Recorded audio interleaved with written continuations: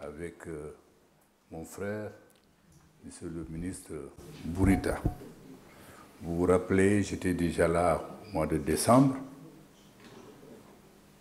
Et déjà, à l'époque, nous avons procédé à un échange très fructueux sur la situation en Libye. Et depuis lors, comme vous l'avez certainement suivi de près, la situation continue d'évoluer avec des hauts et des bas en Libye. Mais depuis le mois de mai, euh, une certaine évolution positive a été notée. Le comité interparlementaire 6 plus 6 s'est réuni ici au Maroc, à Bouznika, et après des négociations intenses, ils ont abouti, abouti à un accord sur les lois électorales.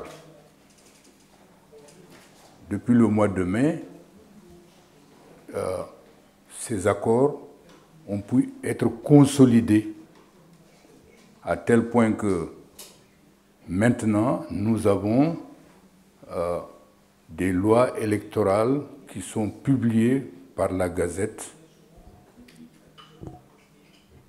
ce qui nous donne aujourd'hui une base légale pour aller aux élections en Libye.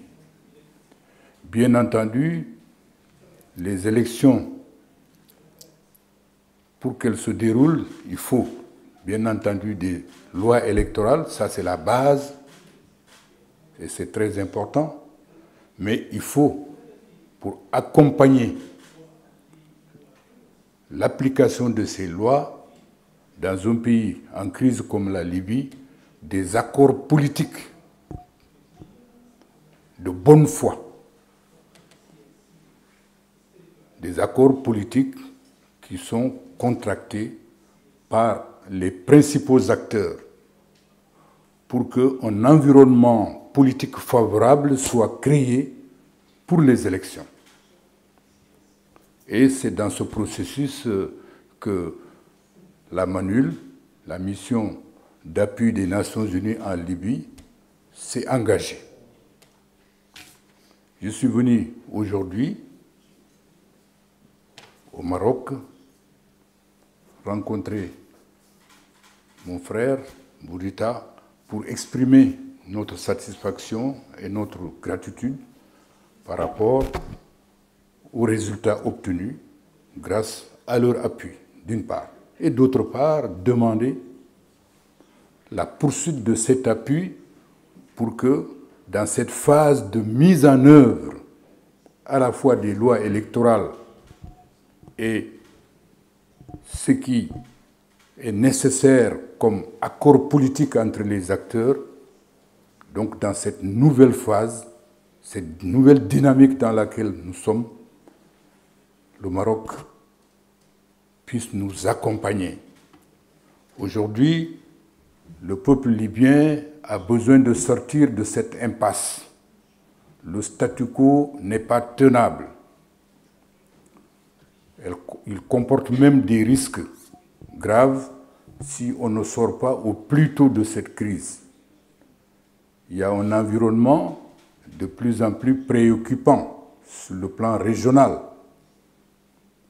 Et la Libye a aussi, malgré cet environnement régional préoccupant, une opportunité d'offrir au monde une solution. Le peuple libyen aspire à cela. Les leaders de la région aspirent à cela. Que disent la communauté internationale dans son ensemble aspire à cela parce que la paix en Libye a des implications positives sur la paix dans la région, sur la paix dans le monde, compte tenu de la position géographique, géopolitique de la Libye. Territoire qui occupe une position particulière en Méditerranée, au Moyen-Orient, mais aussi au Sahel, avec tous les problèmes que l'on voit aujourd'hui dans le Sahel. Donc euh, nous avons eu des échanges très fructueux et je voudrais remercier M. le ministre pour vraiment l'ouverture d'esprit et la réaffirmation de sa disponibilité d'appuyer ce processus. Donc, euh, encore une fois, Monsieur le ministre, je voudrais vraiment exprimer toute la satisfaction euh, de ma délégation pour vraiment la qualité de ces entretiens.